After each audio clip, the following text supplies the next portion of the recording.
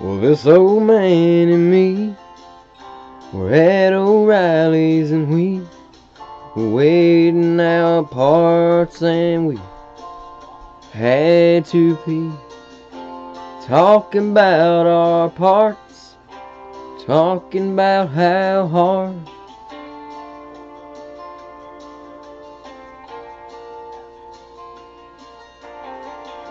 We talked about my parts and all the hell they caused. And then I heard the old man say,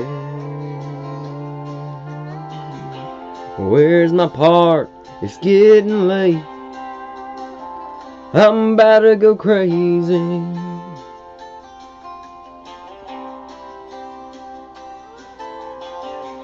He said I ran out of oil. My transmission must have been old. What brings you to O'Reilly's? He said, my old Jeep. We talked an hour or two about every car we knew.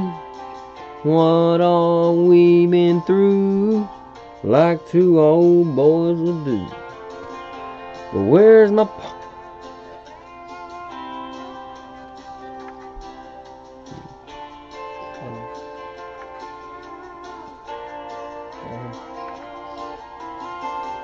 But where's my parts? It's getting late. I'm about to go crazy. Last call was 2 a.m. I said goodbye to him. Never talked to him again.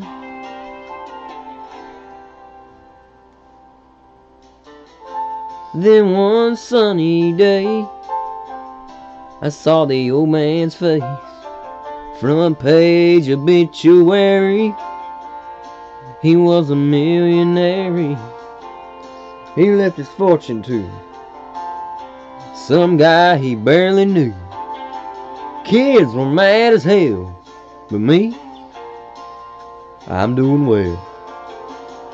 And I dropped by today to just say thanks. Hey.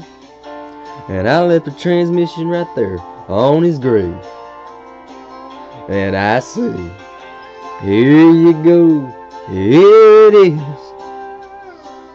Here's your transmission. Well, I say, here you go, here it is. Here's your transmission.